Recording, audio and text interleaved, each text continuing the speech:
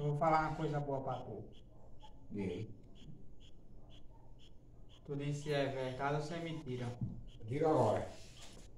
Vou falar sobre a educação, sabe? Diga. Tô dizendo. Para uma pessoa ser educado, ou um homem ou uma mulher, a mãe tem que dar a educação, o pai tem que dar a educação de pequeno, não é verdade não? É.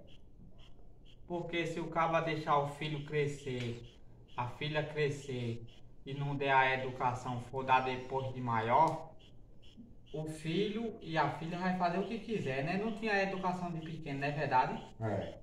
Diz aí, tu que tem uma ruma de filho. É verdade mesmo.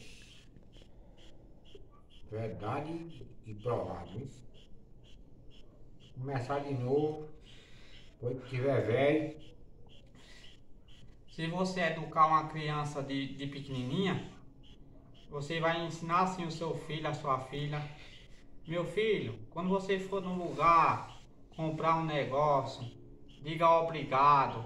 Se for uma filha, diz assim obrigada. Aí vai crescer assim, tá entendendo? Sei. Se a criança, o pai ensinou ela de uma forma e a mãe ensinou de uma forma, ela vai crescer do jeito que o pai e a mãe ensinou aquela criança, né? É. Se a criança vê o pai brigando, se a criança vê a mãe brigando com o pai, ela vai crescer com trauma, né? É. Pensando naquela discussão que teve, né? É verdade. Aí vai ficar só pensando naquela situação. Agora, quando é um casal que não briga, a criança, quando tiver grande, vai ser do mesmo, do mesmo jeito. Olha, vou falar um negócio pra tu. Tu pode prestar atenção. A filha que é boa pro pai e pra mãe, quando ela se casa, vai ser boa pro marido. É, né? E o filho que é bom pro pai e pra mãe, que ajuda o pai e a mãe, quando crescer, que se casar, vai ser muito bom pra mulher também, pra esposa. Também, né? É, agora se o filho ou a filha for bruto pro pai e com a mãe, quando crescer que arrumar o marido, vai ser bruto com o marido, do mesmo jeito que era bruta com o pai e com a mãe, né? Mais do costume, né? É. Fica o costume dela. Uhum. Tipo assim, tu tá almoçando, tu tá jantando, tu lava o prato, né? Coloca o almoço, almoça e não deixa o prato no chão, vai colocar direto na pia, né? É. Aí a criança, a criança vai ver que o pai e a mãe almoça, lava o prato e coloca na pia, guarda no, no cantinho, né? Sim.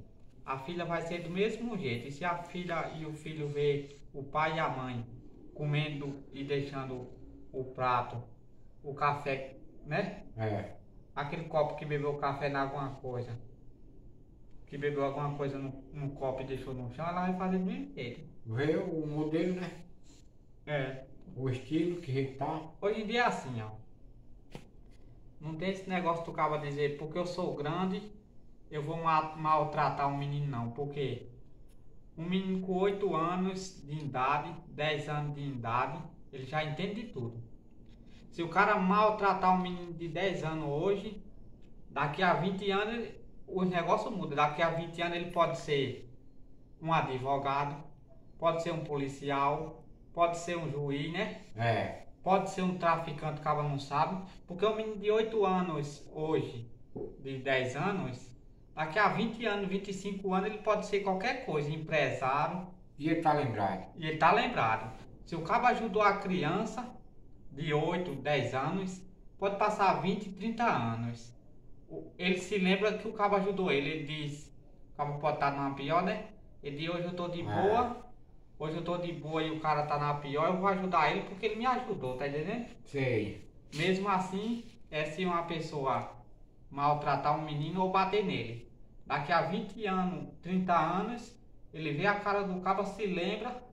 Às vezes, às vezes ele é um cabo perigoso, e eu vou descontar agora, não é verdade? Tá lembrado, né? Tá lembrado?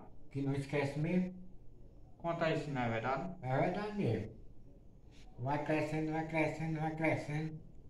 E aquela lembrança na cabeça. Porque quem tem a melhor memória, a memória do mundo é a criança.